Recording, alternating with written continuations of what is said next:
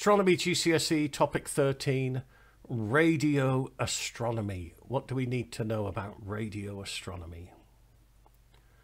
Now, this is an important graph uh, from NASA and it basically tells us what different kinds of radiation can get through the Earth's atmosphere and what can't. Important for you to remember what can get through. Well, visible light can get through and radio waves can get through. Uh, everything else can't get through. Well, there's a some ultraviolet gets through, uh, a bit of infrared gets through, uh, some microwaves can get through, but not a great deal. I mean, visible light, no problem. Radio waves, no problem. Everything else struggles to get through. It's absorbed by the Earth's atmosphere. For example, infrared is absorbed by moisture. It's absorbed by water vapor. How does a radio telescope work?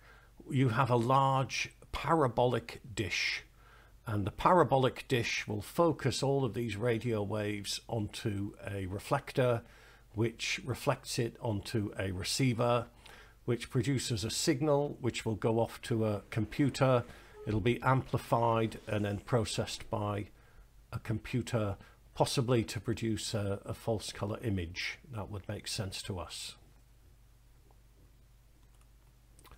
Something we can do with radio telescopes is we can link them together uh, to form an aperture synthesis system or an array. This is the, the VLA, the Very Large Array in New Mexico. Lots of radio telescopes linked together produces a very large aperture. Radio astronomy, uh, what's it useful for? uh, different things. Here's some examples. Quasars. A quasar is a very, very large, old, faraway galaxy, a very old galaxy. It has a very active nucleus.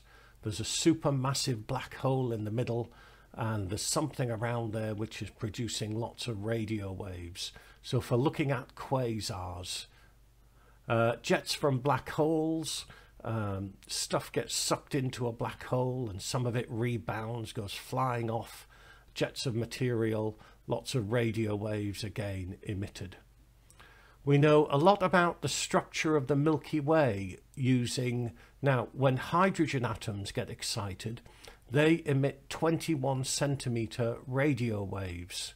So hydrogen atoms, 21 centimeter radio waves. Okay, this isn't hydrogen alpha, this is something else.